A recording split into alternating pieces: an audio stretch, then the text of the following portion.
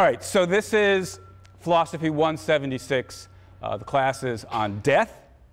My name is Shelley Kagan, and the very first thing I want to do is to invite you to call me Shelley. Uh, that is, uh, you know, if we meet on the street, you come talk to me during office hours, you ask some question. Uh, Shelley's the name that I respond to. I will eventually respond to Professor Kagan, uh, but the synapses take a bit longer uh, for that. It's not the name I immediately uh, recognize. Uh, I have found that over the years, fewer and fewer students feel comfortable calling me Shelley. When I was young, it seemed to work. Now I'm gray and august. Uh, but as it is, Shelley, if you're comfortable with it, it's the name that, that I prefer to be called by. Now, as I say, this is a class on death. Uh, but it's a philosophy class, and what that means is that the set of topics that we're going to be talking about in this class are not identical to the topics that uh, other classes on death might try to cover. So the first thing I want to do is say something about the things we won't be talking about that you might reasonably expect or hope that a class on death would talk about so that if this is not the class you were looking for, you still have time to go check out some other class. So here are some things that you know, a class on death could cover that we won't talk about. And what I primarily have in mind are sort of psychological and sociological questions about the nature of death or the phenomenon of death. And so a class on death might well uh, have a discussion of the process of dying and coming to reconcile yourself with the fact that you're going to die. Uh, some of you may know about uh, Elisabeth Kubler-Ross's discussion of the so-called five stages of dying. There's denial, and then there's anger, and then there's bargaining. I actually remember the five stages. We're not going to talk about uh, about that. Similarly, we're not going to talk about the funeral industry in America and how it rips off people, in, which it does, rips off people in their moments of grief and weakness and overcharges them for, for the various things that it offers. We're not going to talk about that. We're not going to talk about uh, the process of grieving or bereavement. We're not going to talk about uh, uh, sociological attitudes that we have towards the dying uh, in our culture and how we tend to you know, try to keep the, the, the dying uh, uh, hidden from the rest of us. These are all perfectly important topics, but they're not, as I say, topics that we're going to be talking about in this class. So, what will we talk about? Well, uh, the things we'll talk about are philosophical questions that arise as we begin to think about the nature of death. Like this. Here's, in, in, in broad scope, half the class is going to be, the first half of the class is going to be metaphysics, for those of you who are familiar with the philosophical piece of jargon. And roughly half the class, the second half of the class, is going to be value theory. So the first half of the class is going to be concerned with questions about the nature of death. What happens when we die? Indeed, to get at that question, the first thing we're going to have to think about is what are we? What kind of an entity is a person? In particular, do we have souls? And for this class, when I talk about a soul, what I'm going to mean is sort of a bit of philosophical jargon, is I'm going to mean something immaterial, something distinct from our bodies. Do we have immaterial souls, something that might survive the death of our body? And if not, what does that imply about the nature of death? What kind of an event is death? What is it for me to survive? What would it mean for me to survive my death? What does it mean for me to survive tonight. That is, you know, somebody's going to be here lecturing to, your, to the class on Thursday. Presumably that will be me. What is it for that person who's there on Thursday to be the same person as the person who's sitting here lecturing to you today? These are questions about the nature of personal identity. Pretty clearly, to think about death and continued existence and survival, we have to get clear about the nature of personal identity. These sorts of questions will occupy us for roughly the first half of the semester. And then we'll turn to value questions. is if death is the end, is death bad? Now, of course, most of us are immediately and strongly inclined to think that death is bad, but there are a set of philosophical puzzles about how death could be bad. To sort of give you a, a quick taste, if after my death I won't exist, how could anything be bad for me? How could anything be bad for something that doesn't exist? So, how could death be bad? So it's not that the result's going to be I'm going to try to convince you that death isn't bad, but it takes actually a little bit of work to pin, pin down precisely what is it about death that's bad and how can it be death? And is there more than one thing about death that makes it bad? We'll turn to questions like that. If death is bad, then one might wonder is, would immortality be a good thing? And that's a question that we'll think about. Or more generally, we'll worry about how should the fact that I'm going to die affect the way I live? What should my attitude be towards my mortality? Should I, uh, uh, should, be, should I be afraid of death, uh, for example? Should I despair at the fact that I'm going to die? Um, finally, we'll turn to questions about suicide. Uh, many of us think that given the, the valuable and precious thing that life is, suicide makes no sense. You're throwing away the only life you're ever going to have. Uh, and so we'll end the semester by thinking about questions along the lines of the rationality and morality of suicide. So, roughly speaking, that's where we're going. First half of the class, metaphysics. Second half of the class, value theory. Next thing I need to explain is this. There's, roughly speaking, two ways to do a class, especially an introductory class like this. In approach number one, you simply lay out the various positions pro and con, and the professor uh, strives to remain neutral, sort of not tip his hand about what he holds. That's sort of approach number one, and sometimes in my intro classes, that's the approach that I take. But the other approach, and the one that I should warn you uh, I'm going to take this semester in this class, is rather different. There's a line that I'm going to be developing, pushing, if you will, or defending in this class. That is to say, there's a certain set of views I hold about the issues that we'll be discussing. And what I'm going to try to do in this class is argue for those views, try to convince you that those views are correct. To help you know sort of ahead of time quickly what those views are, I want to start by describing a set of views that many of you probably believe. So I'm going to give you a cluster of views. Logically speaking, you could believe some of these things and not all of them. But here's a set of views that many of you probably believe, and I imagine most of you believe at least some of these things. So here, here's the set of common views.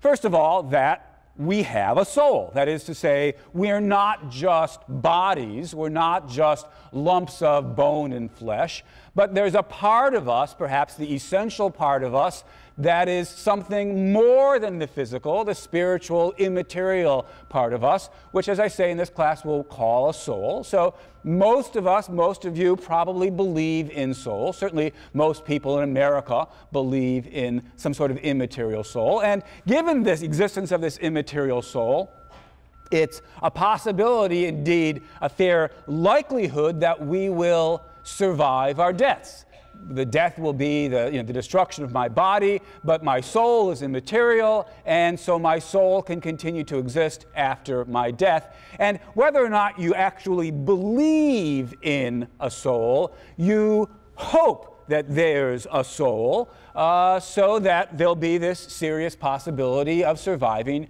your death because death is not only bad, but so horrible that what we would like to have happen is we would like to live forever. And so, armed with the soul, as it were, there's at least the possibility of immortality. Immortality would be wonderful. That's what we hope is the case, uh, whether or not we know that it's the case. Immortality would be wonderful. That's why death's so bad. It robs us of, of immortality.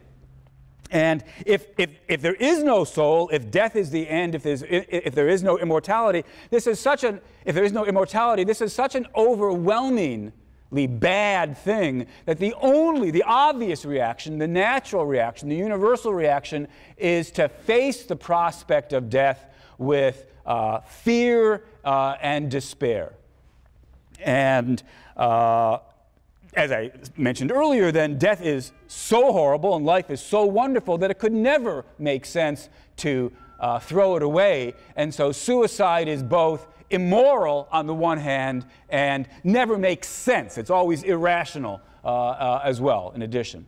All right, that, that, as I say, is I think a, a common set of views about the nature of death.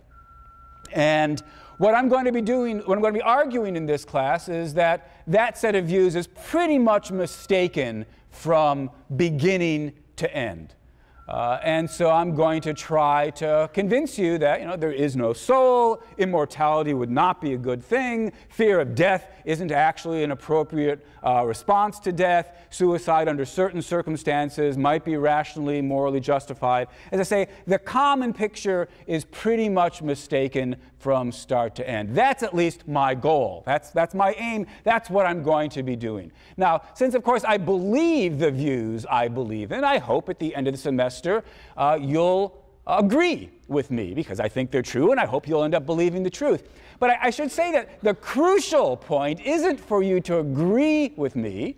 The crucial point is for you to think for yourself. And so, what I'm really doing is inviting you to take a good, cold, hard look at death and to face it and think about it in a way that most of us don't do. If you, at the end of the semester, haven't agreed with me about this particular claim or that particular claim, so be it. I'll be content, I won't be completely content, but I'll be at least largely content as long as you've really thought through the arguments on each side of these various issues. Carrie, maybe this would be a good time for to pass around the, the syllabus. All right, next introductory remark. A lot, of today's uh, talk is going to be devoted to business. I'll get to, uh, if time permits, some philosophy at the end. I want to make you one more remark about what I'll be doing in terms of this class. This class, as I say, is a philosophy class. We'll basically be sitting here thinking about what we can know or make sense of with regard to death using our, you know, our reasoning capacities. We'll, we'll be trying to think about death from a rational standpoint. Um, one kind of evidence or one kind of argument that we won't be making use of here is appeal to religious authority.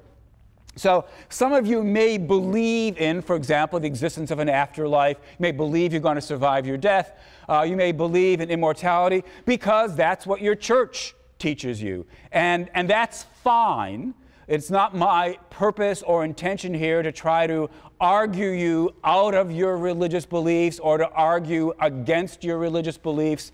All I'm going to ask is that we not appeal to such religious arguments, appeal to revelation or the authority of the Bible or what have you, in the course of this argument, in the course of this class. If you want to, you could think of this class as one big hypothetical. What conclusions would we come to about the nature of death if we had to think about it from a secular perspective, making use of only our own reasoning as opposed to uh, whatever answers we might be given by divine revealed authority. Those of you who believe in divine revealed authority, uh, you know, that's a debate for another day. It's not a debate that we're going to be engaged in here uh, in this semester. And similarly, although I'm not going to ask you in your discussion sections to hide your religious views, uh, you'll be asked, you know, in the course of defending them, to, to give reasons that would make sense to, you know, to, to, all of us. All right. Uh, that's by way of sort of where the class is going. Let me now turn to uh, some discussion about the requirements of the class, grades, and so forth and so on. The, the syllabus is going around the class. Uh, almost all of you have it at this point. The, the, syllabus doesn't really say a whole lot. I've already given you an overview of what topics we'll be going to. The, the crucial point about the syllabus is that it indicates what reading you need to have done for any given week. Now, I've done my best to peg the readings to where I will be on that week's lectures, but I don't lecture with lecture notes for the most part. Sometimes they take a little bit longer than I anticipated. Actually, I often take a little bit longer than I anticipated. No doubt at some point I'll fall behind. At some point I may rush to catch up ahead. It won't always be the case that the readings will exactly coincide with where the lectures are at. Nonetheless, in any given week, for the start of that week, you should have done the readings that are listed for that week. The readings on the syllabus simply say the author, you know, and there's a, there's a couple of books that are available uh, at the bookstore. There are a, a, larger packet of readings that's available as a course pack at Tyco's. Uh, and so for any given week, you know, you can find the reading, one or two cases uh, uh, maybe just one actually, where I've got more than one article by the given author. I've given the, the title of the article as well. Shouldn't be difficult to locate the reading for any given week. The format of the class, of course, is a familiar and straightforward one. I'll be sitting here lecturing uh, twice a week. Uh, this time, 10:30 to 11:20. Uh, once a week, you will break up into discussion sections. The discussion sections will meet for 50 minutes. You, of course, will have a single time, each one of you will have a single time. There will be different times the discussion sections meet. For this, for, for the first time, the, the, philosophy department has just switched over to the online discussion section registration system. I'm not 100% certain how that works. I've not used it before. I take it the idea is something like this. Right now, if you were to shop the class, you could find the tentative list of discussion section days and times. So be sure to find some time that works for you. You can't actually register for any of those discussion section times yet, but as of I think next week, when you're able to begin your online registration, you will be able to register for any discussion section that still has a slot, still has a space open in it. In fact, you won't be able to finalize your discussion. You won't be able to finalize your registration for your courses until you've actually signed up for an available slot.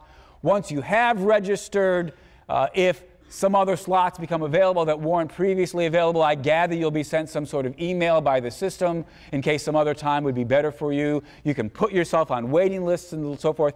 It, it sounds pretty good on paper. Maybe it'll all work smoothly. I've never been through it before. I hope we won't have any problems. But right now, what you want to make sure is that there is a time that's available. I mean, right now, all the times are available, but that there is a time that works for you. Because if you can't find a discussion section that works for you, you won't be able to take this course. Any questions about that? Any questions I should actually ask? Any questions about anything that I've asked or said so far up to this point?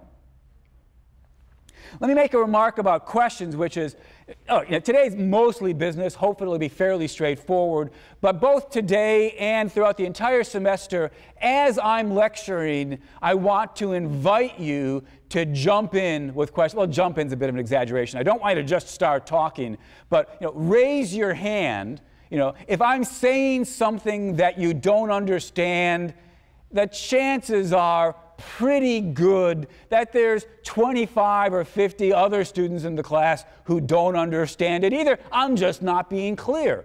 And so I want to welcome you. I really want to invite you whenever you've got some reactions to the things that I'm saying. You know, Shelley, you know, raise your hand. I'll call on you. Say, Shelley, I didn't really understand what you were saying about the soul. Could you please explain that again? Or for that matter, if you've got some quick reactions or thoughts or responses to the arguments that I'm laying out and you want to share them with the class as a whole, then very much I want to invite you to do this. Now, this class is too big for us to have some, you know, close, intimate uh, conversation between the 150, 180, however many students there are here. That's not going to happen.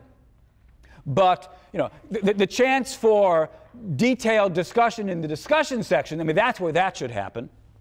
But still, there is the chance for you know, brief reactions and definitely a chance for questions, and I very much want to invite you to do that. So if at any point you've got something you want to ask about or some two bits you want to add, raise your hand, wiggle it around, make sure I see you. I may want to finish the particular point that I'm making, but I'll try to come back to you and I'll then, you know, raise your question. And if I remember at least, I will repeat the question out loud uh, so that everybody can hear it.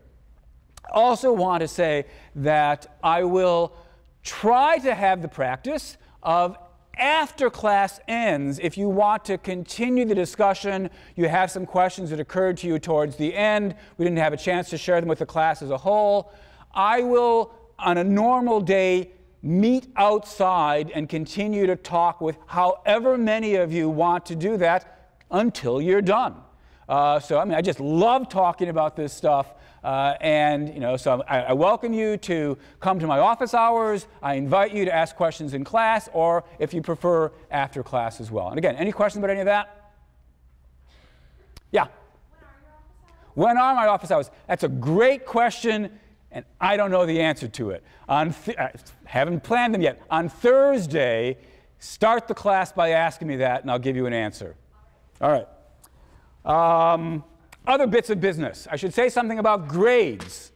Now, many of you may have heard, uh, many of you may know, and if you don't already know this, I should warn you that I have a reputation around Yale as being a harsh grader. I know this is true, that is, I know I have the reputation, both because I periodically in my student evaluations get told I'm one of Yale's harsher graders, harder graders, and because every now and then the Yale Daily News will have an article about grade inflation, and they'll always ask me, well, you know, Professor Kagan is somebody. Once there was a story on grade inflation that the Yale Daily News began by saying, as Shelley Kagan, parentheses, known at Yale as one of the hardest graders, close parentheses.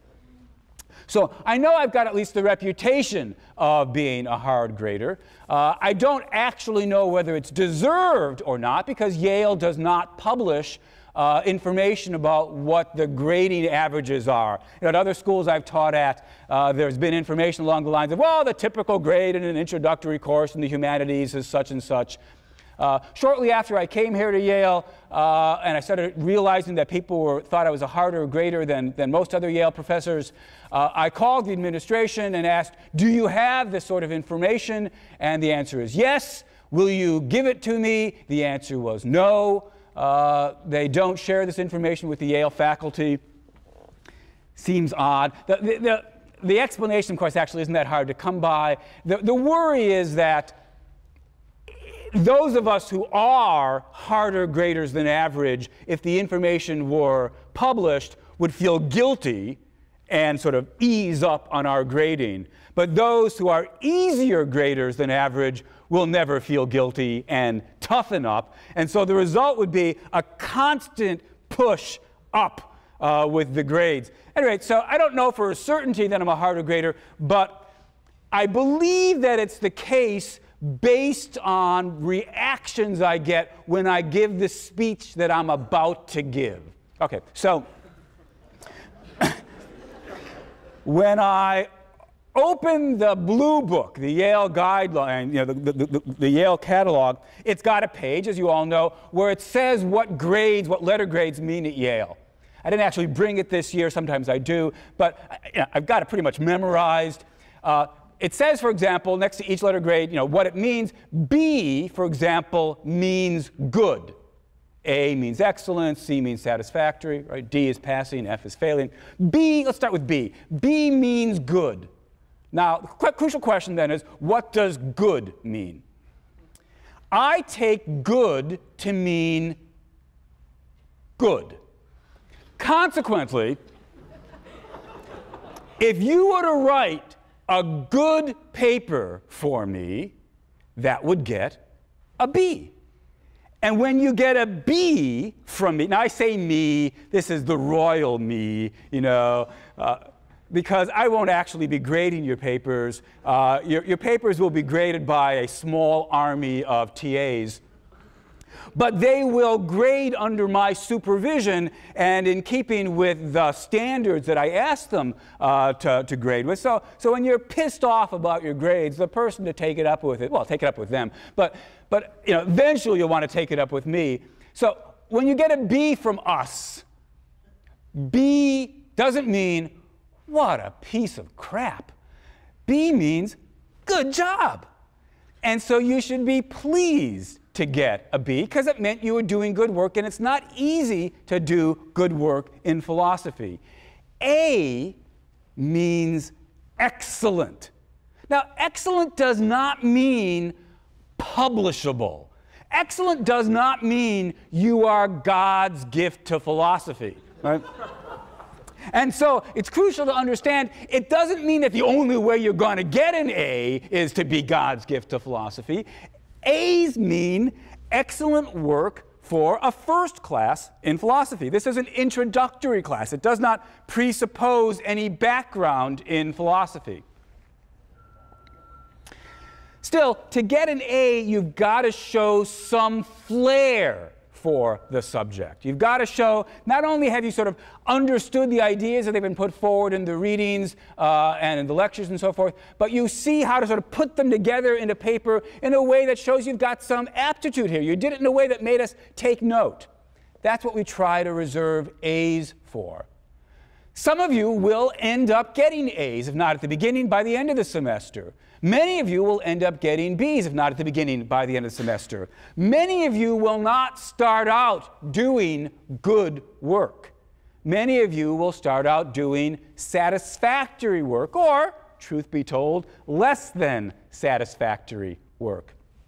Now, look, I was an undergraduate once, and I know what it is to write a typical undergraduate paper. You sit down the night before and you had a couple of ideas. You thought about it maybe for a half an hour, and, but, and you meant to get to it sooner, but you had a lot of other things to do. And you throw it off in a couple of hours and you know, maybe stay up late. And you know it's not the worst thing you ever wrote and it's not the best thing you ever wrote, and it has a couple of nice ideas, but maybe it could be better. It's sort of a satisfactory job.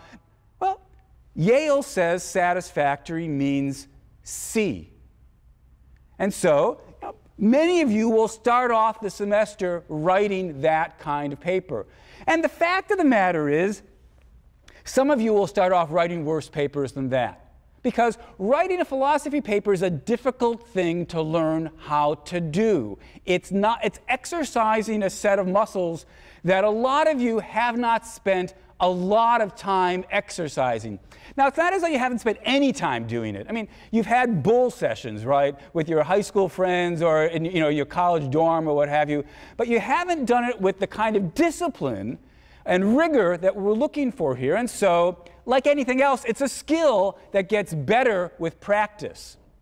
And but what that means, of course, is you won't do as well at the beginning as you're likely to be doing toward the end. Some of you, unfortunately, won't do very good jobs at the beginning, and my TAs, I'll encourage them to be prepared to give, you know, D's if the vices of the paper significantly outweigh the virtues. That's a D. If the vices very significantly outweigh whatever virtues there are, that's some kind of an F. So the, the fact of the matter is, many of you in your initial papers will get lower grades than you've probably ever gotten before in your life. Wanted to warn you about that. Now, I say this not so much to depress the hell out of you, but A, partly to warn you, and B, to make it clear that I believe that it's a skill. Writing a philosophy, good philosophy paper is a skill and you can get better at it. And consequently, most of you will get better at it.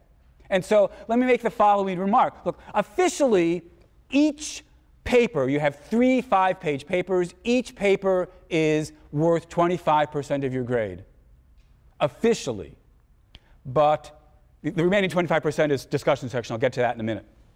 Officially, 25% of your grade for each of the three papers. But if over the course of the semester you get better, then we will give, at the end of the semester, when we're figuring out your semester grade, we'll give the later, stronger papers more than their official weight. For many of you, the first paper will be clearly the worst paper you write and then we'll just throw that grade away.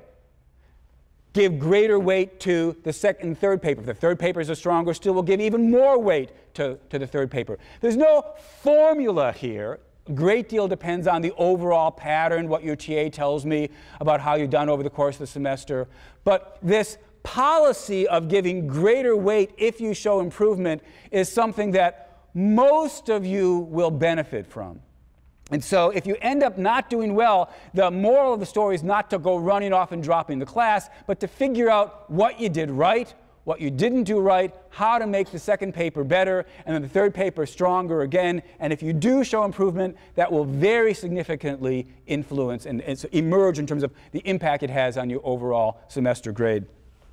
Because of this policy, I don't actually know when all is said and done, whether at the end of the semester, I'm any harder, you know, whether I depart from the average or not. Let me quickly mention here's a fairly typical grade distribution for the overall grades of this at the end of the semester. Roughly 25% of you are likely to end up with some kind of an A at the end of the semester. 50, 55% of you or so are likely to end up with some kind of a B. 20, 25% of you might end up with some sort of a C. Sometimes there's a couple of percent that end up worse than that.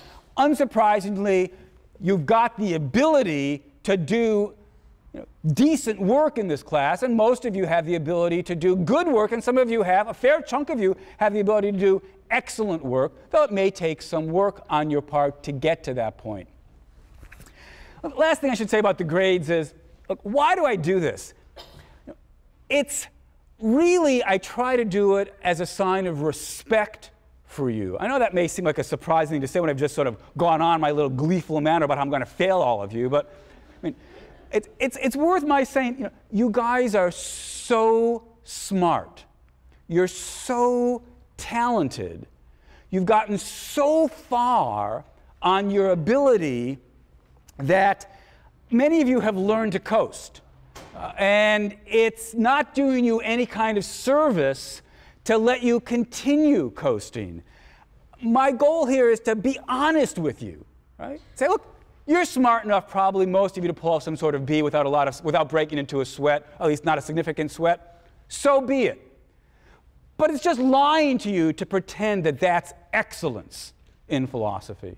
And so, what I want to do in this class is be honest with you and tell you you've really done work here to be extraordinarily proud of yourself, versus, yeah, you've done something okay, or look, you've done good work. Admittedly, it's not great, but you've done good work.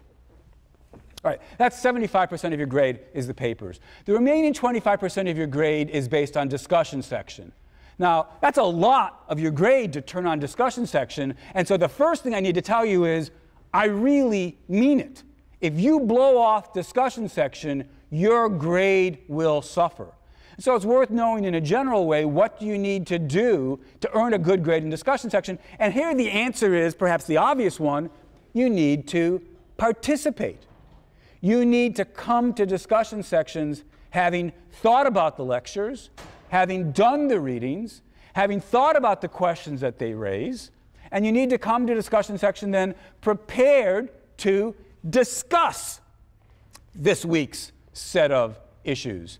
You need to listen to what your classmates are saying and say why you disagree with them. And not just that you disagree with them, but to raise an objection. Or why you agree with them. And when somebody else then attacks them and say, look, I think that what John was saying was a good point, and here's how I think he should have defended his position, or what have you. You need to engage in philosophical discussion.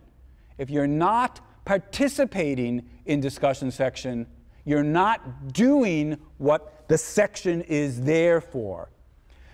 Philosophers love to talk and we love to argue, and the way to get better at thinking about philosophy is by talking about philosophy. And so I'm putting my money where my mouth is. I'm saying, look, yeah, that's an important part of the class, so important that it's going to be worth 25% of your grade.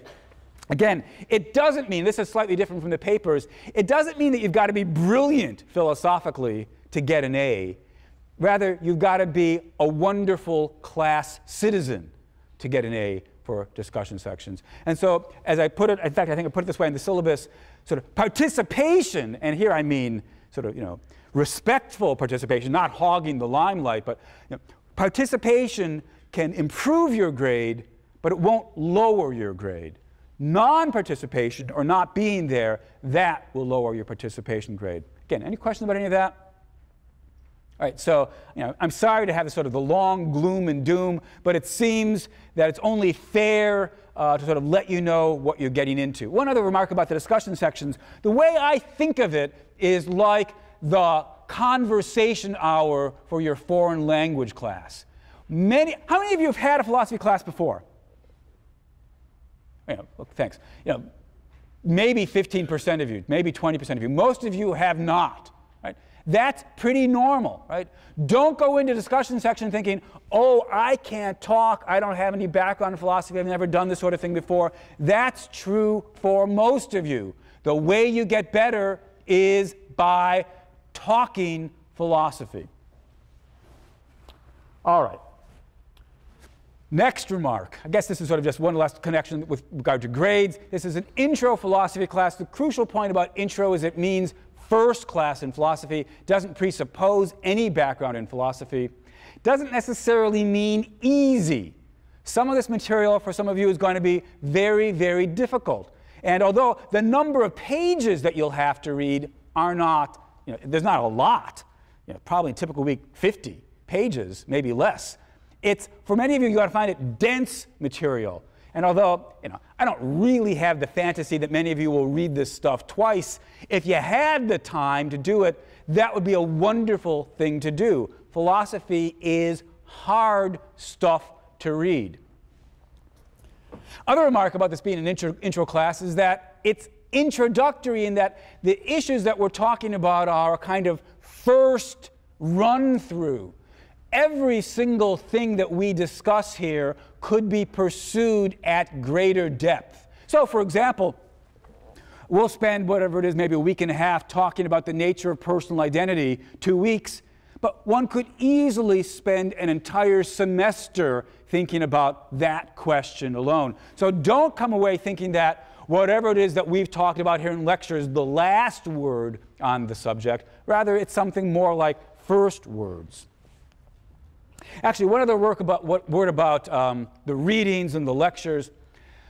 With one exception, I won't be spending very much time talking about the readings. The exception is Plato, where I'll spend a lecture, maybe two lectures, trying to reconstruct Plato's central arguments.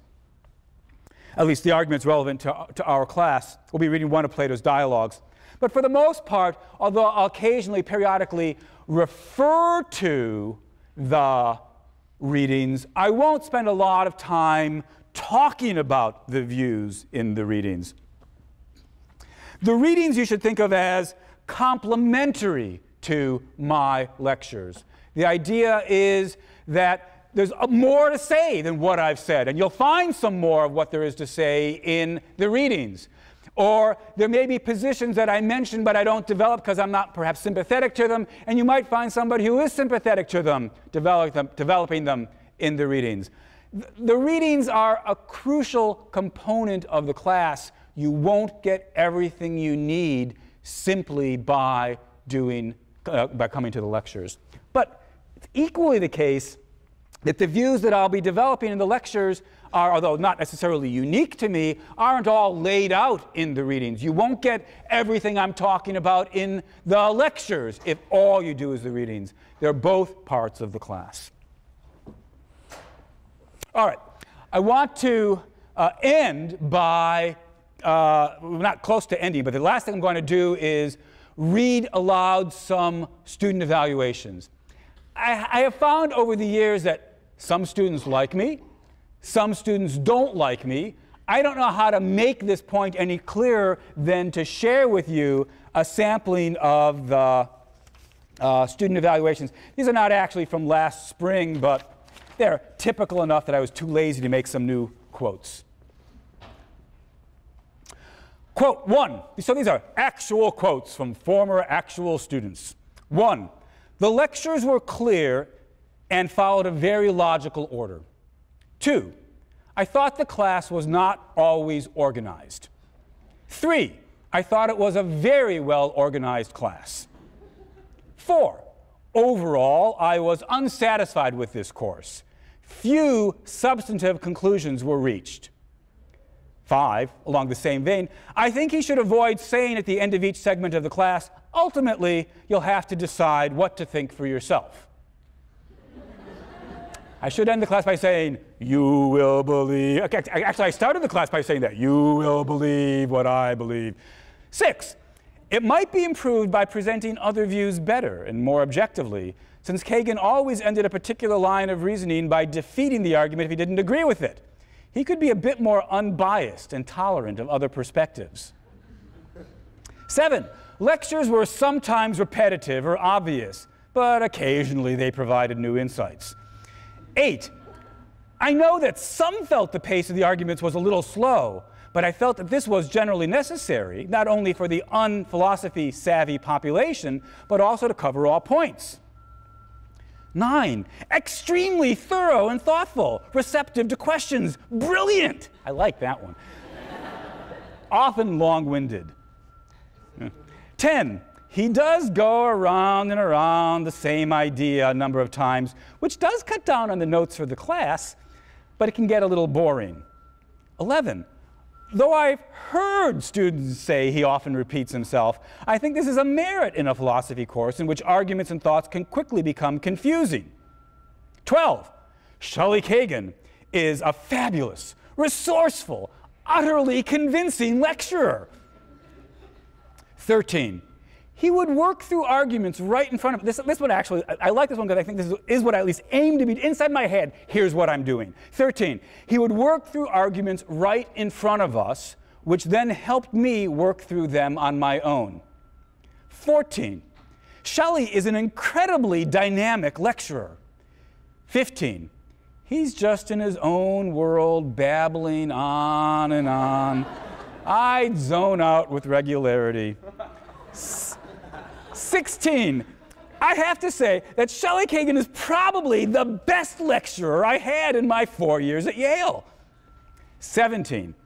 He's the type of teacher you either love or hate. Now, that's pretty clearly true. I, I, wish there were some easy litmus test that I could just give you so you'd know which of you would be making a mistake taking this class. I don't know how to give it to you. Next topic grades. One, he tried to intimidate us too much with his promise of impossible grading so that everyone took the class credit D fail, when we all probably ended up with A's or B's because grading was not hard. Two, I recommend it, but only credit D fail. Professor Kagan is harsh with grading.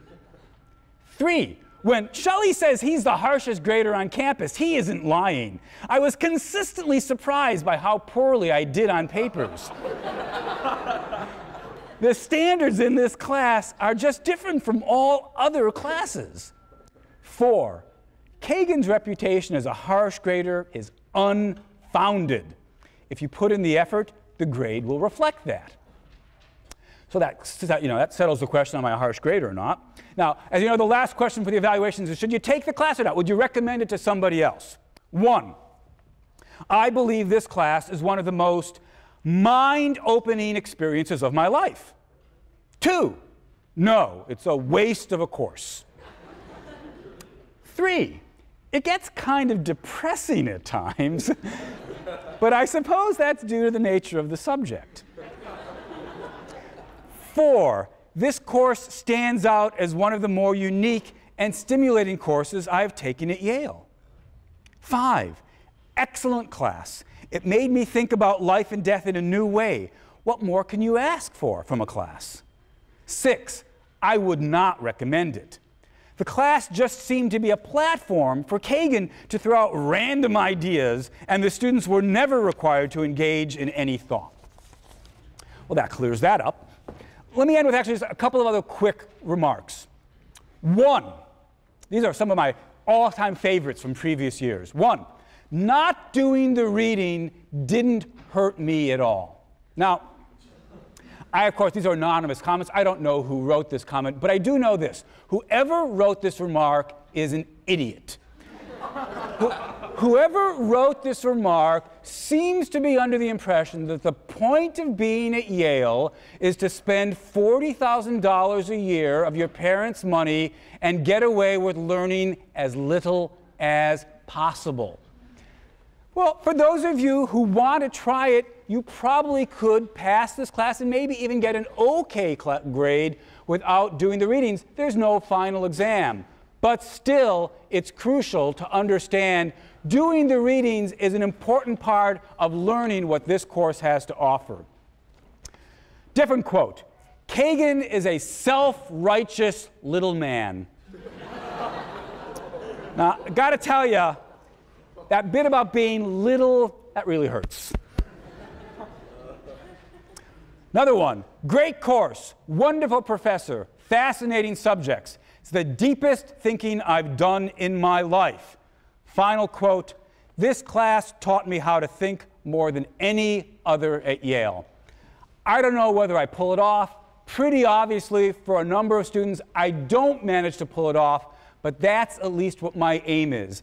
I'm trying to help you think. I welcome you and I hope you'll be back on Thursday.